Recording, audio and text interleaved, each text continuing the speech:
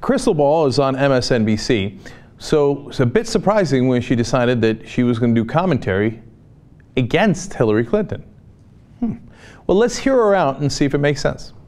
I've come to a difficult realization. I don't want Hillary Clinton to run for president in 2016. I do not think that she is the right person for this moment. Back in 2008, when all my peers were jumping on the Obama bandwagon, I backed Hillary. The country was reeling from a disastrous eight years of President George W. Bush. Does Hillary Clinton sound to you like the right person for this moment? In a time when corporations have hijacked our politics, enabling them to reap all the profit without feeling any compunction to do right by their workers. Is someone who sat on the rabidly anti-union board of Walmart for six years the right person to restore workers' rights. In a time when we're still reeling from a global financial disaster brought on by foolhardy bank deregulation, is someone who recently took $400,000 to give two speeches at Goldman Sachs the person we need to wrest control of the asylum back from the banking inmates. Someone who at those paid speeches reassured the masters of the universe in attendance that they were being unfairly persecuted that in her words, the banker bashing was unproductive and indeed foolish. Someone whose husband, by the way, did much of the deregulating that got us into trouble in the first place.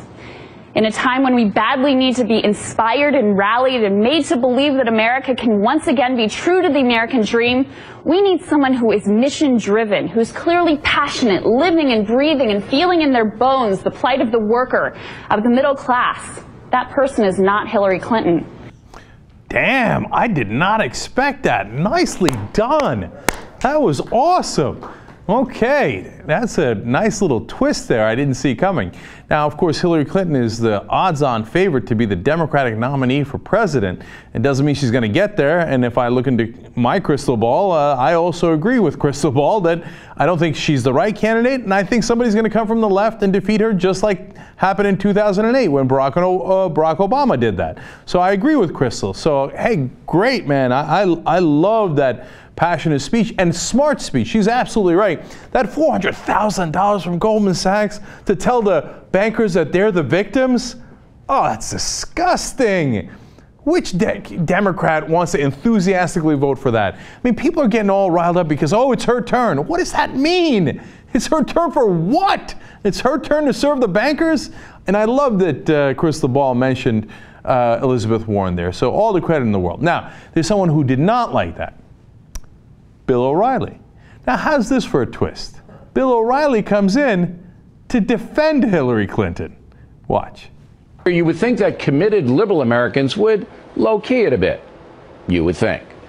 But no, they're upping the rhetoric, especially the anti capitalism stuff. Is someone who recently took $400,000 to give two speeches at Goldman Sachs the person we need to wrest control of the asylum back from the banking inmates? Now, that anti capitalistic commentary is the far left's signature issue.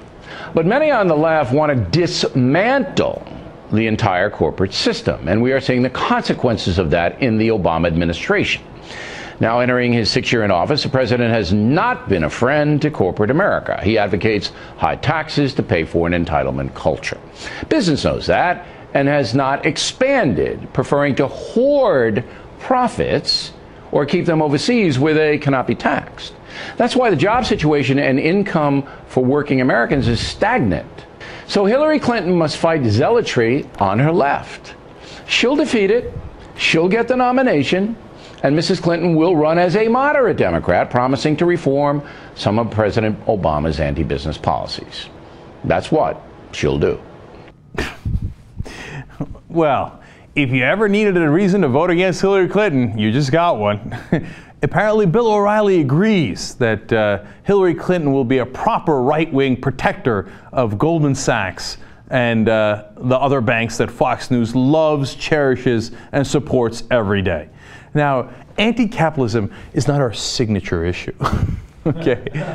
what we would like to do, Bill, is to protect the free markets.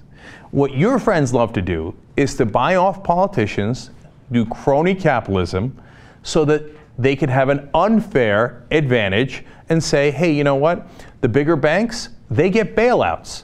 they get lower interest rates from the Fed. The smaller banks, sorry, you don't get any of that right? You're a credit union, you don't get any of that help. In fact, you got to pay higher interest because we know the government isn't backing you. That's an unfair advantage. That is not a free market, Bill. We're the protectors of capitalism. You and your crony capitalist friends are actually the ones who want to rip it down for your corporatist structure, right?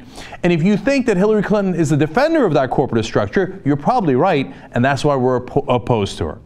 So I love how he says, you would think that the, those on the left would low key it. Why, Bill? Have you been low keying it? Why should we low key it? No, we're here to tell you the truth. And if you don't like it, that's a sad day for you. And I love uh, how he pretends that Obama has not been a friend to corporate America. Obama has argued over and over again that we should lower corporate taxes.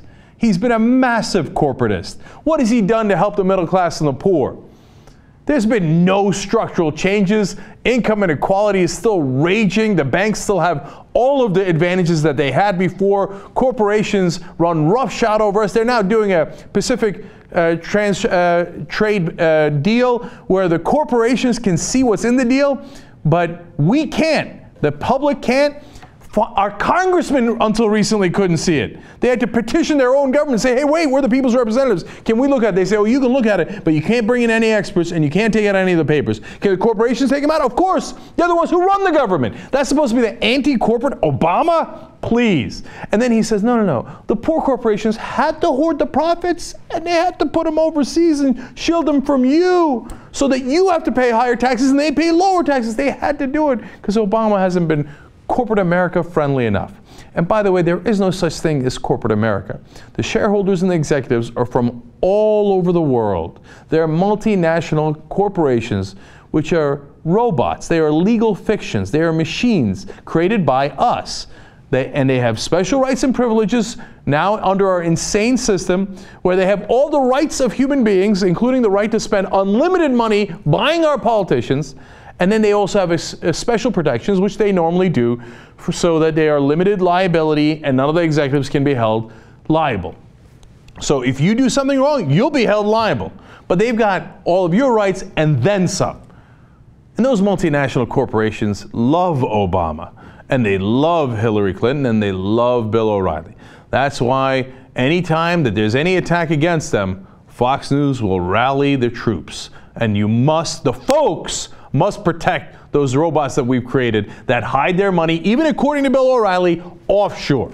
It's not because of Obama, it's because that's how they make more money.